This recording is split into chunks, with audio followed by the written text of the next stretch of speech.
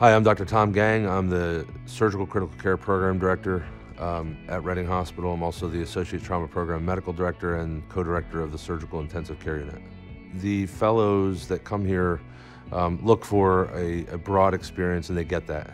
Um, they look for uh, different types of patients, sick patients, which is what you want to learn from.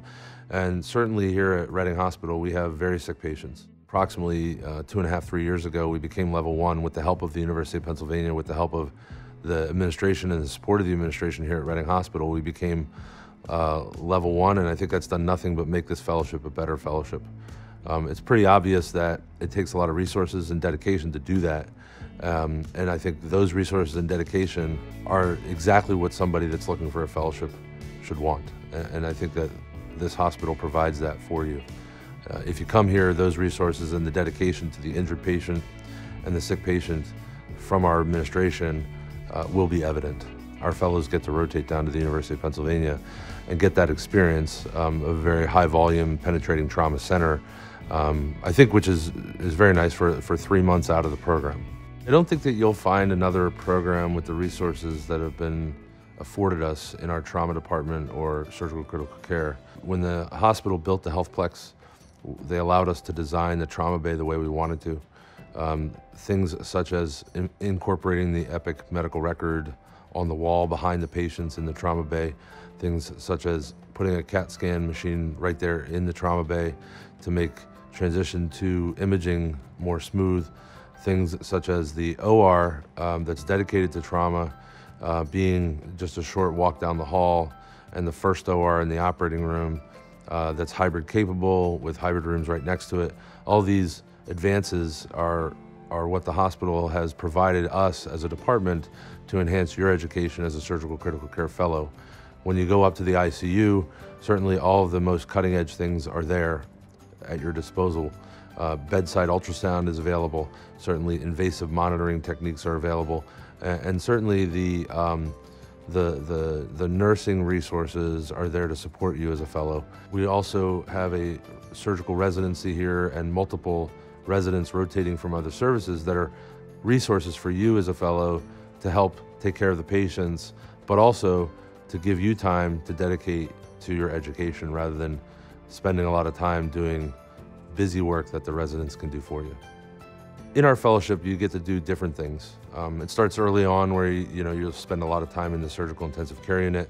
Um, occasionally on call at night, you'll be help, helping to cover the trauma bay. Um, some acute care surgery patients at nighttime.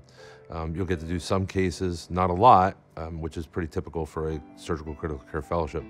Um, and then as the year goes on, you'll get to do more and more with trauma. You'll get to do some with neurocritical care. A, a typical day in the surgical intensive care unit would be rounding with the team in the morning um, and then carrying out the plan of the patients in the afternoon, supervising the residents, supervising the advanced practitioners, um, going to the OR with any cases from the surgical intensive care unit. Currently, we are approved by the ACGME to accept two fellows uh, per year. Typically, our fellows average somewhere in the 65 to 70 hours a week, um, which gives you plenty of time for reading and for academic pursuit. The ACGME requires research as a part of your training. Um, we've we've established a pretty robust research program in the trauma department. We have a full-time research coordinator. We actually require that there be some type of a recognition of your work um, during the year, meaning uh, either a paper publication or a presentation at a meeting. I think that anybody goes that, that goes into trauma and um, surgical critical care understands that um, that there is a life outside of surgery, uh, understands that um, your partners have to be all in on your patients, and I think it's important to to trust your partners to take care of your patients and I think that we um, instill that in our fellows, uh, and our fellows notice that during the year. We are fine with going home and having a family um, outside of work, um, and and and the reason we're okay with that is because we trust our partners, um, and so.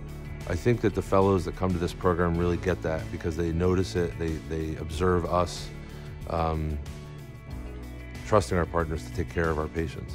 I think that at the end of this year, um, a fellow in our program um, we'll be able to treat patients in a safe manner. And that's our ultimate goal is to, for, for us to have surgeons coming in um, and, and coming out of here knowing how to treat surgical critical care patients, trauma patients um, safely. Uh, obviously, there's a lot of development in that's to be expanded upon from your general surgery residency. Uh, and our intention is to develop you into a surgeon that feels confident um, in, in your abilities to take care of these patients when you walk out the door.